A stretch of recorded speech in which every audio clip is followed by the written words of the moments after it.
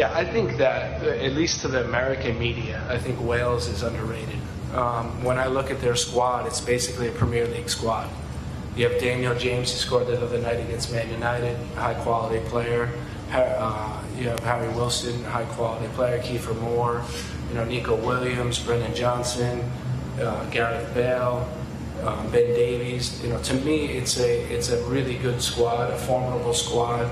They've been in international competition before. They know what it's like, and um, it, it's going to be a very difficult game. Uh, as will when they play England will be a difficult game. So I think they're going to be a, a, highly competitive team, and um, you know we we want to.